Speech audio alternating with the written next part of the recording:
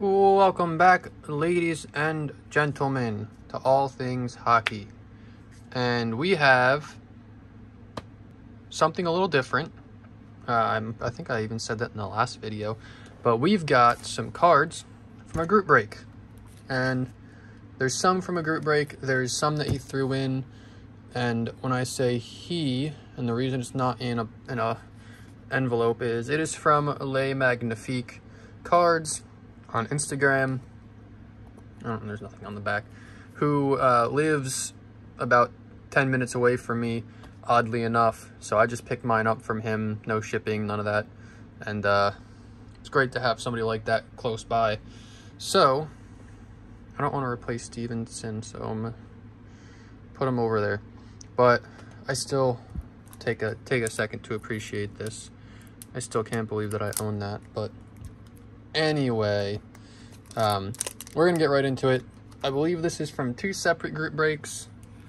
Um, I've got the Golden Knights and the Bruins, but that's an extra that somebody traded me. Um, or either that or I know that somebody had, um, one of my friends let me have some of his hits because he got like every single hit from that uh, one break. We've got some more extras that I'm guessing Les Mag threw in. And then another group break where I had the Golden Knights and the Capitals. So it looks like I've got Golden Knights and Capitals. And it was uh, three different years of OPC Platinum. So didn't do great, but didn't do horrible. I had a few uh, few hits, a few PC hits. I know that there's some Tuch cards in there. Um, didn't get my money back, but I, I also didn't lose too much. But that's the thing with group breaks, you really never know. So, I'm to start with this one. This was the first group break that I did with them. I got, uh, the initial teams I got, I believe, were the Bruins and the Avalanche. And the Avalanche are a fantastic team to have for the 1920 series because of Cale Makar. But I really wanted Golden Knights because I really wanted some Cody Glass stuff. Um, and I, so I ended up trading the Avalanche for the Knights. And the Avs got nothing at all, and the Knights got some Cody Glass. Like, for example, a Young Guns. So, that was probably the best hit from the uh, the whole thing, but we'll keep going through. So that is a Cody Glass Young Guns, as well as a Marc-Andre Fleury SP Essentials. There was a box of SPA in there. Two SP Essentials. I'm wondering how I got two. And two updates. That's actually cool. I didn't know that it said update hockey. So two Stephenson updates. So that's pretty cool. We also got a Paul Stastny UD game jersey. And I know that I've got uh, got one other. And the only cool thing is I have this one that's black, and now I have one that's got the gray. He doesn't play for the team anymore, though, so probably going to get rid of it. Either way, I did get the jersey, the UD game jersey from that box. That was pretty cool. We also got, for the, the Bruins, we got a Brad Marchand Limited, Limited Red, a David Pastrnak Pure Energy, and a Tuukka Rask Spectrum FX. So that was break number one.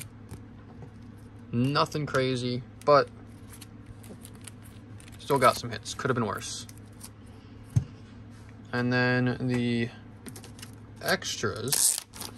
So I had one of my one of my buddies, MVP. Um, he traded me his. Uh, what did he get? He got a Elvis Merzlikins Young Gun, and I was sending him some cards. So one of the cards that I sent him, I believe, um, he gave me Merzlikins for. So he ended, or I ended up, it's a whole thing. I ended up getting Merzlikins Young Guns. I ended up trading Merzlikins Young Guns for this Henrik Borgstrom UD Exclusives Clear Cut. I know that's nothing crazy, but I don't have any exclusive clear cut. Um, or I guess technically I do, just not from this series. And I don't know how these work. I don't know if these are like the out of five or whatever, but I don't have one from this year, which is 1920 Series 1. I've got some from 2021, but none for this, so super cool. Looks like he threw in a Nathan Bastian Young Guns from the Devils. The Devils where he ended up getting the Future Watch auto patch, oddly enough. As well as a Pure Energy Patrik Laine. A Nolan Patrick Generation, Generation Next Patrick, who is with the Knights now.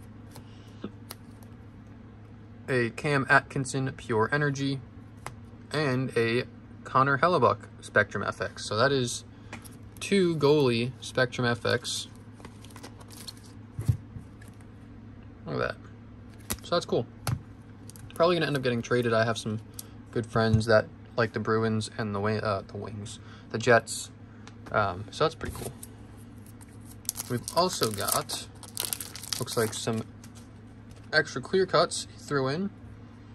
A Nick Cousins Predators clear cut and a Mark Jankowski Penguins clear cut, which is odd because he's a Penguins fan, but this is why he's a great dude.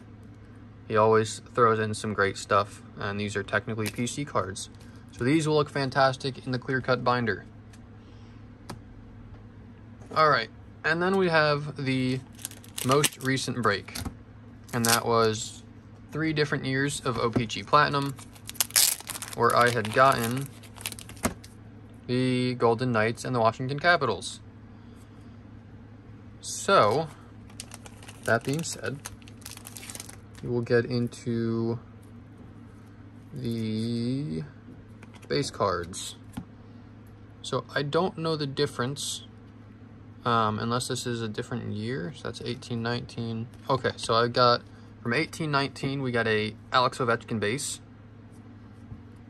And then from 1920 no, 1718, we got a TJ Oshie. And then from 1920, an Ovechkin, Holtby, and Backstrom. I really like the way the OPC feels. The, the Platinum, at least. I gotta open a box someday.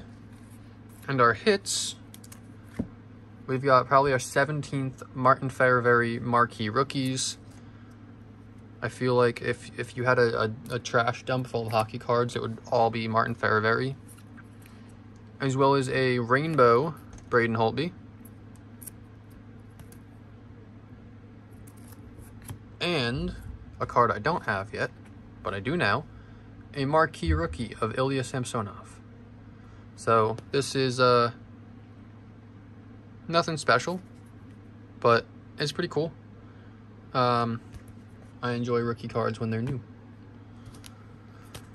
And lastly, we've got the Golden Knights hits. Like Marchessault. These are all base. Only downside to Platinum is the fingerprints are crazy. Paul Stastny. Jonathan Marchessault, James Neal. And Marchessault again. So, that's actually, hold on, this is pretty funny. We've got three different years of Marchessault.